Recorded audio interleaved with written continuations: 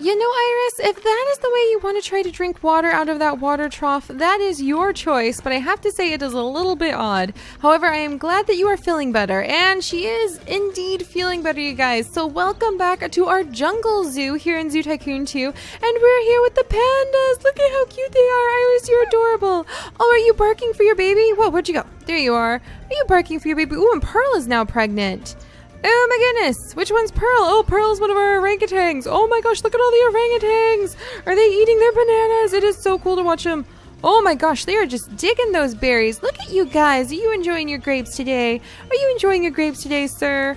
All right, let's go through. Oh, and I see. Oops, I'm sorry. I didn't mean. I'm like, look at you eat your banana as I kick your treat ball away from you so you can't get any more bananas out of it. Oh my goodness gracious. But yes, we are back. And I actually, because I was so worried about how weird the pandas were doing, the reason it took so long is that I tossed the save file over to Ben so that he could take a look at it, make sure everything's doing all right. And sure enough, as soon as he got the save file, all of the, oh, there's one of those cranes. Okay, gotta grab that crane. Alright, and we're adopting out these cranes because they actually attack the pandas, we found out. So, yeah, all of the pandas are doing fine. They were all eating fine for Ben. So maybe they were just having kind of a quirky, weird day. So we're trying to take good care of them. So they are all doing okay now. We have a lot of pandas. Hi, little baby. Hi, maybe you're not a baby. Actually, I think you're one of the adults. Oh my gosh, look, somebody. Oh, it's Orchid. Okay, she's going to go eat some bamboo from the trough. I feel like she needs. Do you guys need like a tire? Is it because your ball managed to roll into the lake? Do you need your pursuit ball? Is that a thing? Um, let's see. Toys for pandas, huh? We're trying to going to investigate the car tire. come here, come here, Orchid, come here. If you want, if you want to play with the car tire, this is perfect. I won't kick this one away. I'm gonna stand very still right here. You can come on over. Come on. All right, you're sniffing it. Come on. Oh my gosh. You can lead a panda to like bamboo. Oh, great. And that's wonderful. That's fine, Giant Panda 10. Just leave a giant pile of poop right there. At least I can sell it for like exorbitant amounts because I'm sure that some like hip gardener would love to be able to say that they fertilized their bamboo with panda poop or something like that. All right, what's going on over here? Going to go play with the pursuit ball. So Panda 10 is really excited about this. Is Orchid feeling better? Orchid, do you need like different kinds of toys? I mean, here's a small ball. What about what about like a little squeaky toy, a rubber toy? Yeah? Maybe a ball with a rattle? Oh my gosh, she's like running for it. Orchid, where are you going? Oh, oh, is there a pursuit ball over here? I think she just played with this pursuit ball. Yay, Orchid! And that has slowly started to help her out with her enrichment need that she needed. So I think Orchid's going to be just fine. She's just a little bit of a fussy panda. She doesn't know what she wants some days. And what are you what are you doing, Panda Iris? Oh, it's Iris. Oh, she's waiting to nurse her baby. Where is her baby? Our child is Oh, he's working his way over to her. All right, it should be fine. Is that you again, Orchid? No, it's just a very excited panda who's just like pushing Orchid as, or uh, Iris aside to play with the pursuit ball. So they seem pretty happy now. All right, pandas are content. Oh, Clouded Leopard 8 is going to give birth. Oh my gosh. Oh my goodness gracious. That means we need to go ahead and we're going to adopt out her two children that she currently has so that there's enough room for her new baby to be nice and safe. All right, because that's that's how it would really go in the wild with most big cat families. Whoops, there's some poop to scoop over here. You wouldn't have. Oh, sorry about the lag. I have no idea what that's up with all of a sudden. But you wouldn't end up having like all of these big cats smushed together. They would all have their own little areas. So is she gonna have her babies? They're just gonna look like little white kittens. Does this need filled? We'll add more flesh to the. Oh, here she goes. Oh, clouded leopard babies. Like I said, they're just gonna look like little white kittens right now because of the way that they're coated, so they don't look correct. But that's okay because they're still like gonna grow up into beautiful clouded leopards, so that's gonna be amazing. Oh, and Panther Chameleon 11 has just laid an egg for us. Huzzah! That's so exciting! look at the little egg, you guys. Oh, there's so much going on in our zoo as usual. Look at the tiny little egg. It's just hiding right in here. Oh, that's so much fun. Oh, that's so fun. Oh, and actually opening up the camera reminds me, we need to take care of this challenge. I think we've had this challenge for like over a year now, so we definitely need to tend to that. But before we jump into that, I do want to come over and I will show you guys how our palm cockatoos are doing, and we should get down at least a few other you know, a few other um, birds into this exhibit because this is a pretty empty exhibit right now. How you doing, ma'am? Are you enjoying walking around here? I want to eat at the restaurant. I needed money but couldn't find an ATM. Oh no, and she's trying to go to a restaurant like right now to eat. Oh my gosh, if we don't keep her fed, like she might get turned away from the door. That might be a thing that happens, I'm not sure. And then her hunger will go up and then she'll get cranky and she'll storm out of our zoo when all she wants to do is throw more money at us. So we definitely need to fix this. Let's go ahead and we will get some ferns put down along here. I'm going to fill this in.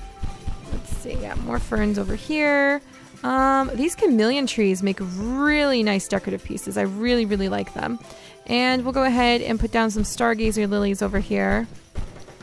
Uh, maybe a couple more. Man, they're kind of like hard on the eyes a little bit in the weirdest ways. Um, then maybe like the potted plants, perhaps? No, we need we need this little jungle palm. There we go.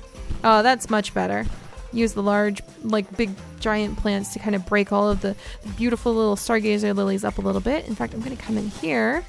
Let's go ahead and grab our little path through the ATM and be like, come this way!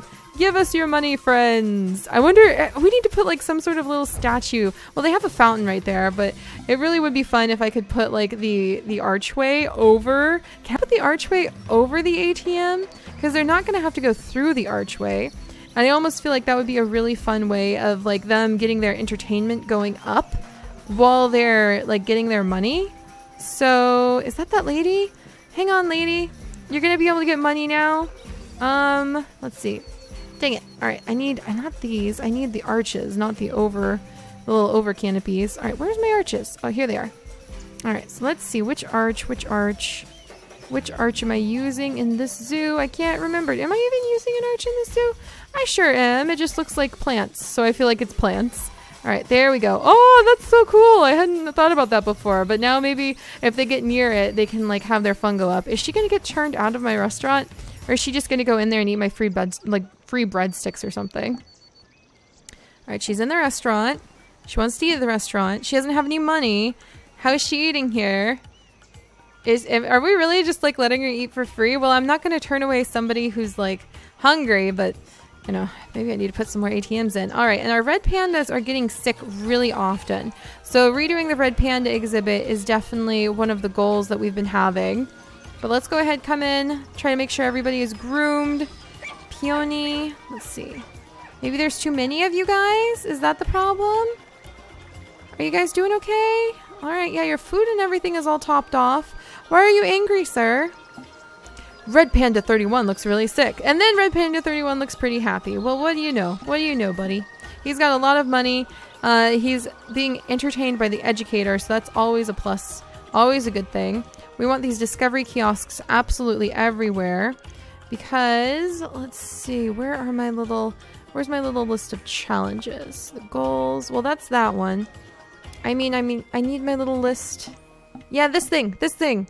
And actually, oh, I think Ben told me that while he was trying to check if our zoo needed fixing, yes, the Entertainment Donation Award, the face painting kiosk is now available. Huzzah, you guys, that's to be so much fun. And we're slowly pecking our way up with the Educational Donation Award. So we'll keep working on that. All right, and one of the wild horses is now pregnant, which is absolutely awesome. I'm going to look for where's a really popular area? Where's somewhere we've got a lot of people converging on the zoo right now? Where is... We don't really seem to have many people here right now, actually. Alright, there's a ton of people over at the reptile house as usual. So I think what I want to do... If... I hope they're not all leaving. Are you guys all leaving my zoo? Oh my gosh! Some of them are... Oh, they're so angry and they're all leaving my zoo. No. What? And Palm Cockatoo 1 is sick? What? What? You're just sick, but all your needs are fine. Okay, well, let's go over.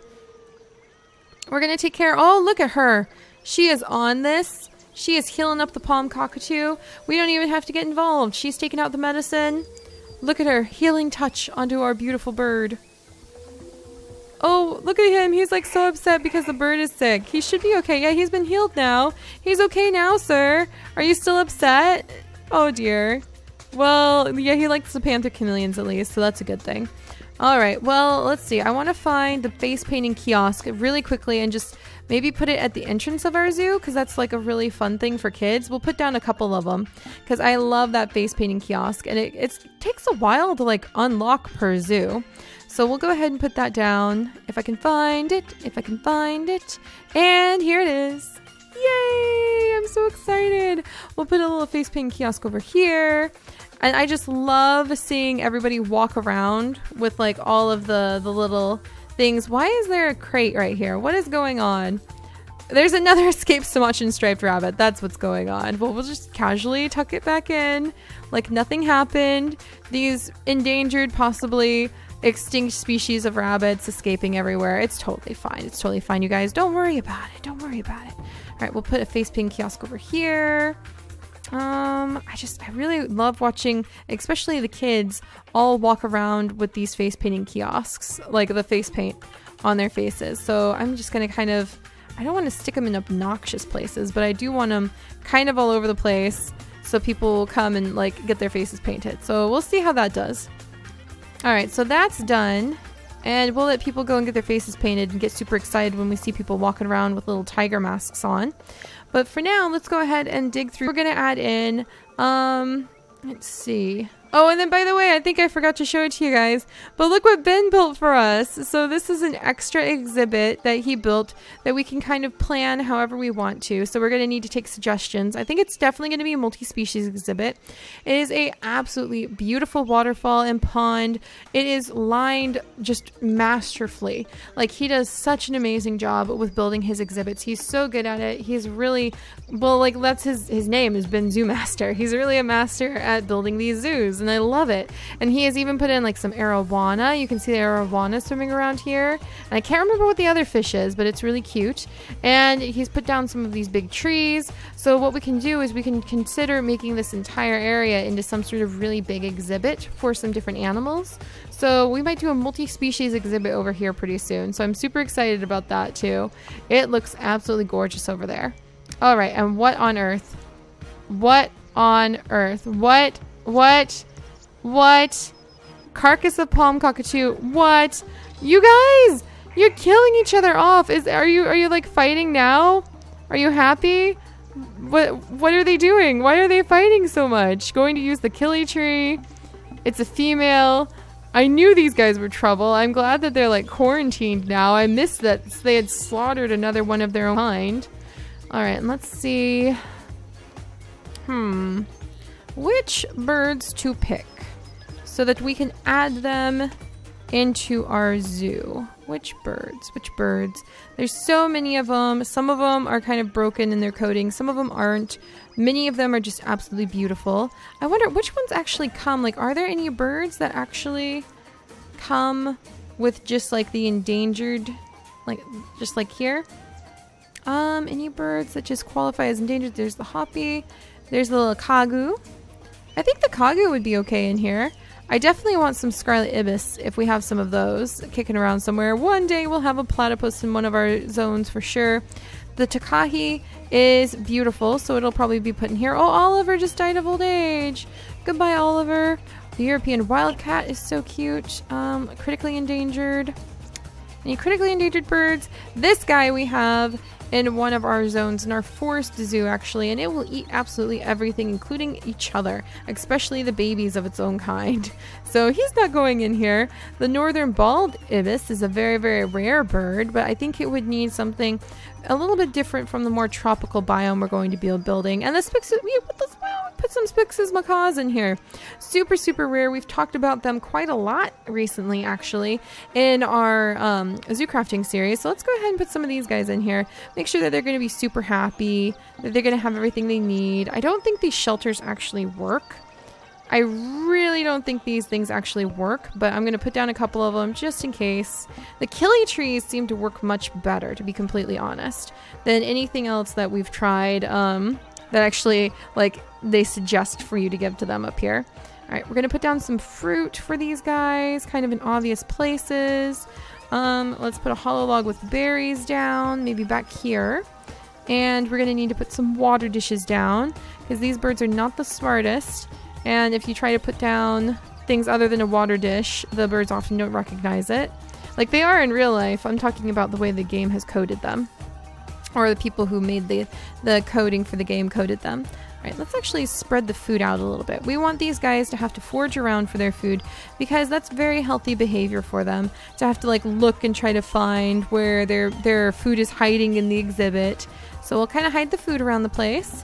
And let us start decorating. So banana trees, I think they will actually interact with banana trees. I know the kili trees are a really good choice for all of the animals. It seems for all the birds at least. So we'll definitely put lots of these in here because I've seen the cockatoos interact with this. All right.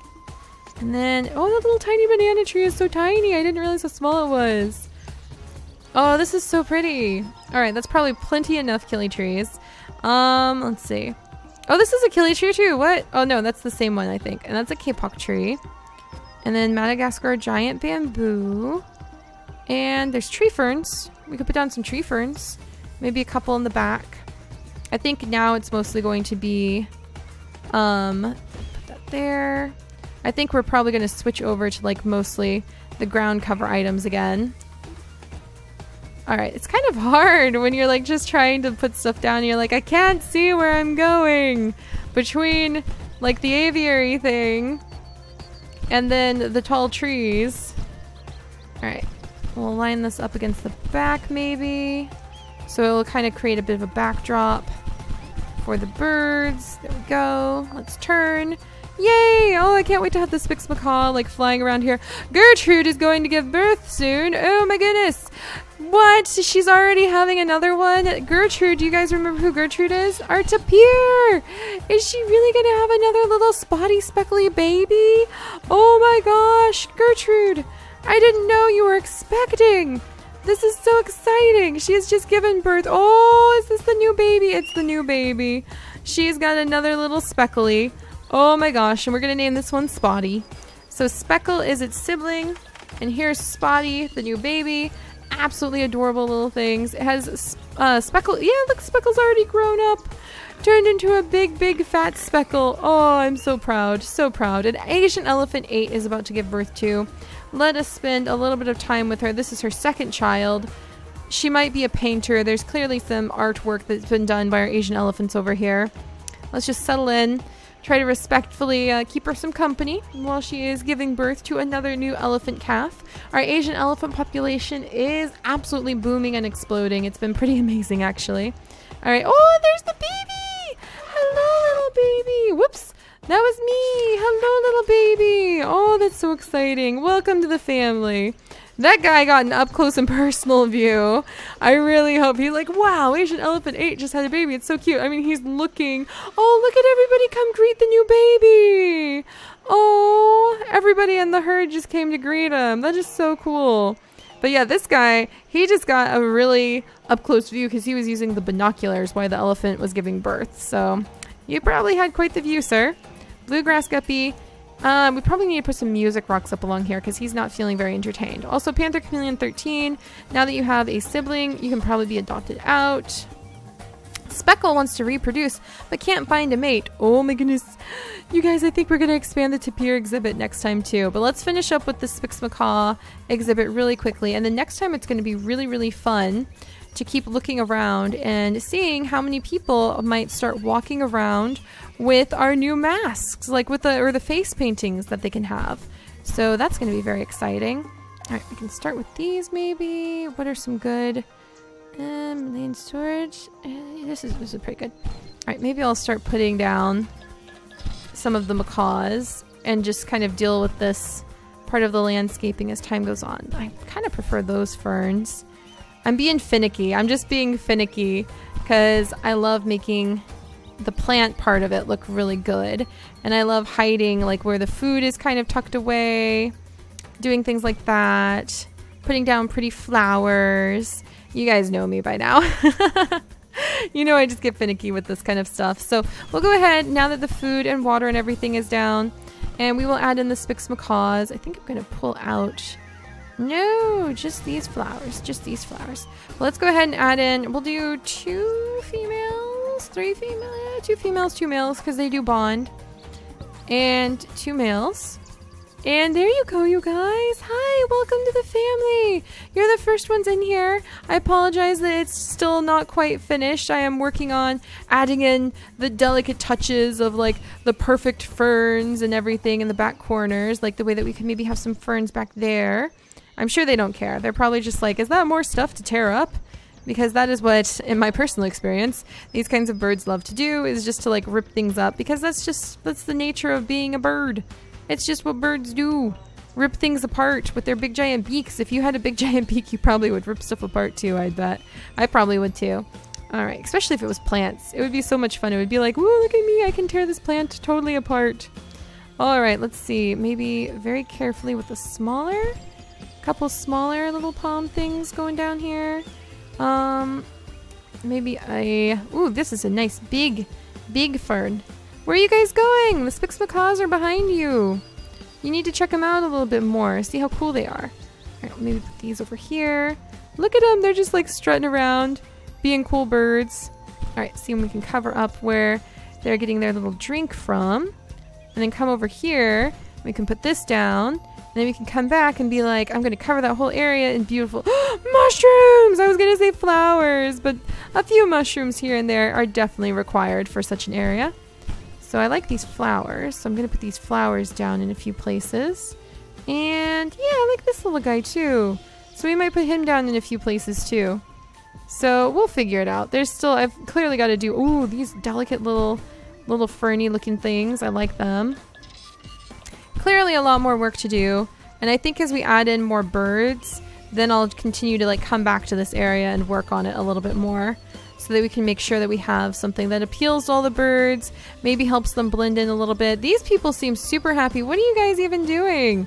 Are you really viewing animals? Your educator Ruth is very educational. Well, I'm okay, and they're they're watching the European graylings. Of course, it's fish. Who cares? Who cares that there's like super rare, almost extinct species of macaw right here where they could be looking at them when there's fish to look at because the fish are coded to have like ridiculously high attraction value. so that's why they're ignoring my macaws, you guys. That's why. It's it's not the macaw's fault. They they know they're cool. Are you coming over to get a little snack? Yeah, he's I think he's coming up. No, he's he's going to go off somewhere to go poop not quite as elegant. I was really, you know, we're trying to we're trying to like, you know, cheer people on for you and and well, you you be you, bird. You be you. If you want to poop around the place and that's how you're going to show off how awesome you are, that is 100% a-okay your choice. Where is another one of these birds? Because I need to get some pictures of them being adorable. Hi guys, look at you. Oh my gosh, look how pretty they are. I almost need some lights in here though. Oh my goodness, it's kind of hard to see. There's another Yay! See, that's more in the spirit of things. Now she's coming over and she's checking out what the Spix Macaws are up to. That makes me happy. I need to change the area up back here. Are you sleeping? Are you okay? I'm assuming he's just he's just a snoozy bird. Yeah, yep, just a snoozy bird. He's really pretty. Alright, I need to put down some more ferns back there though because it's kind of creepy to just like have the, the empty ground to stare at. I can't see what I'm doing! I can't believe it, but the, the, the killy trees are actually in my way. killy trees! I am trying to do art here with plants and you're in my way. And you're kind of messing up my jam. Oh well. Well, like I said, I'll continue to kind of peck away at this area as time goes on because I think people are pretty happy right now. Yeah, people are really happy. Yay! And the macaws are calling to each other, so that always bodes well. Maybe they'll have a bazillion babies, and we will save a ton of money because we will be able to have the babies breed and send the babies to other zoos, and that is always fantastic for us. Oh, are you gonna go fly? Look at you. Oh, an Asian elephant too just gave birth. So there we go. All right, you guys. Well, we've still got more work to do in Zoo Tycoon 2, clearly. But people are starting to enjoy themselves. Yep, the palm cockatoo. It was, it was like putting a bunch of fighting insects in a jar together, apparently. And the palm cockatoo slaughtered its only other occupant. So we'll just leave the vicious palm cockatoo on its own in the corner here.